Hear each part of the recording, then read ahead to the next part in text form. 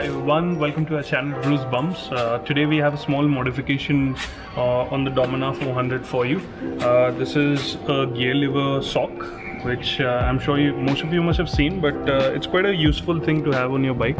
Uh, you can use it to protect your shoes of course and it's a small little modification but at the same time it color coordinates really well with the bike. So here we have the lever of course uh, this is uh, where it goes in exactly this particular manner uh, so what I have over here is just some oil to lubricate it and uh, when you try to insert it without you could say the oil it's a little tougher तो एक बार oil डाल के try करते हैं I think it should work so I'm just going to put some couple of drops of oil just gonna nicely lube it a bit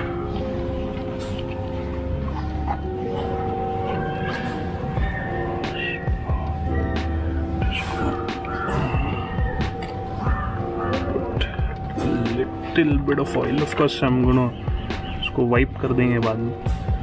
So here goes nothing so you we have the pro taper gear soft just a little bit of oil and I think it should work. It's about 80 rupees and it gives your bike a decent look, I think.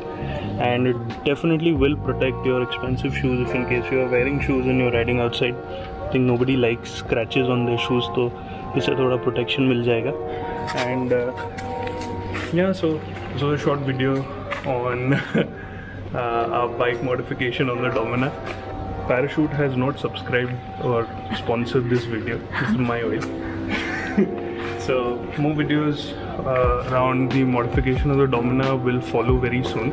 So please uh, like, share and subscribe and we'll see you in another video. We are all excited to go for our next ride very soon and uh, peace out bumps.